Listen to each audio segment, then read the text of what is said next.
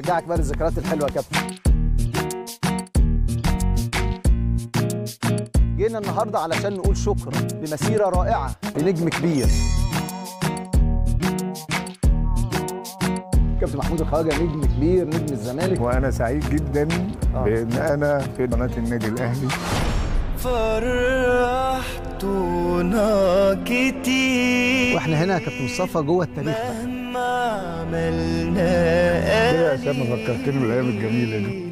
وهو جه اليوم اللي فيه ليكون رد الجيل. رد الجميل.